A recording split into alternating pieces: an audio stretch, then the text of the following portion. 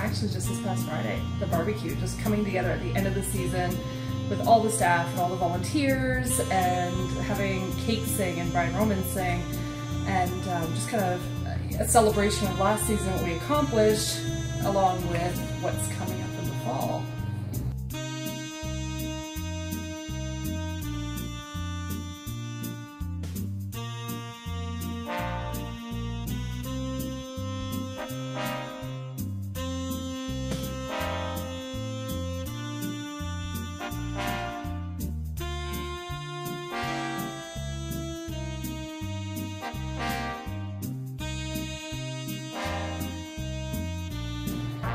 Summer.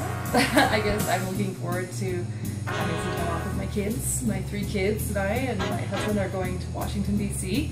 So I'm, I'm taking them down for a few days just to, to go to the Smithsonian and I've never been there so that's very exciting. Um, so having the summer off and being able to do that is, is pretty cool.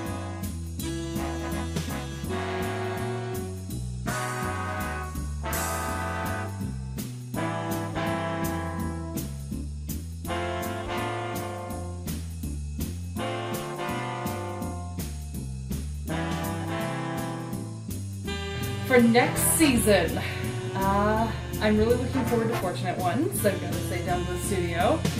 Uh, it's an awesome duo that Ray and I saw at a contact last year, and they're going to be fantastic. And um, also looking forward to the Ron James live taping, the CBC taping. That'll be really exciting and a chance for Showplace to really be on the national stage. So that's great.